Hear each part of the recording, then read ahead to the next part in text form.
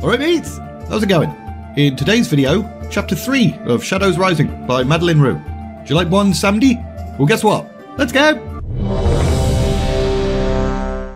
Talanji stood atop the Great Seal and admired the view of her home. On a clear night such as this one, she could see all the way to the tops of the mountains to the west. And while she took it all in and felt a sense of pride for the achievements of her ancestors, Ziki, a servant, removed each of her ceremonial bracelets and rings, one by one. With each piece removed, Talanji felt lighter, but also vulnerable. Go. I must be alone now. But my queen, your gown is stained. Later, you are dismissed, Ziki. So the young servant nodded and then left through a hidden servant's passage, and Talanji retreated towards her throne. Sometimes, when she glanced in its direction, she could still see the outline of her father, Rastakhan, sitting there. But he was gone, dead, murdered by that Janabich.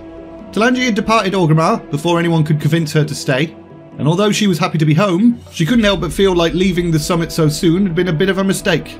If she'd remained and pressed her case, the Horde Council probably would have granted reparations for Zandalar's people. That's all she could expect from them, though. Their precious armistice meant too much to them. Justice for Rastakhan would have to be found a different way.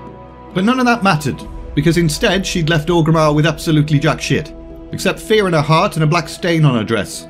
Had that young red-haired troll not blundered into the assassin and spilled the cup, she'd likely be dead. Bwonsamdi.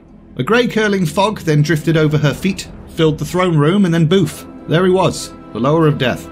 Oh ho ho! The queen is in distress.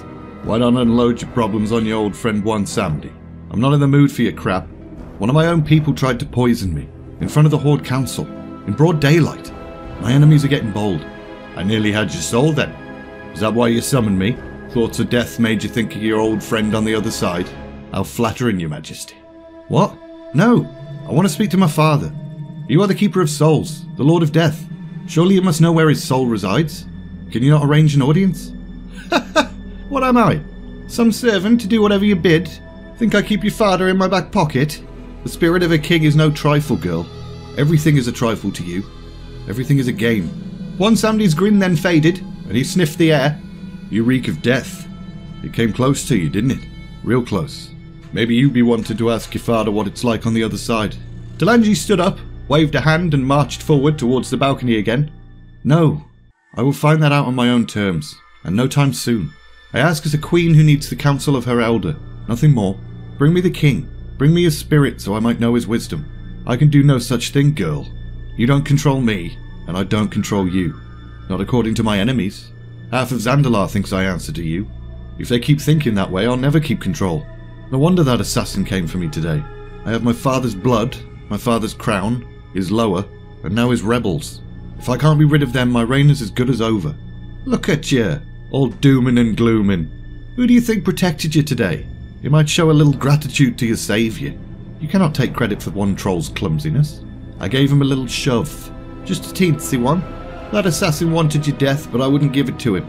And I won't give you your father either. Unless. Unless what? Unless you be wanted to make a deal. Seems fair, no? I save your life. You make a deal with your pal Bwonsamdi. Talanji then scoffed. And will you be there to give a little shove the next time? And the time after that? There is unrest in my city, and the Horde will do nothing to stop it. The fate of Zandalar is in my hands. But how can I bring prosperity and peace to people who do not trust me? My father would know what to do. He always knew. Or perhaps his loa Rezan would have known even better. And then there was silence. The city and Bwonsamdi suddenly seemed ominously quiet. She'd expected a bit of sass back from him, but instead he just stared at her. What? Nothing to say? Not a single sly word, Bwonsamdi? That's not like you. Our bond is strong, little queen, but that does not make me your servant.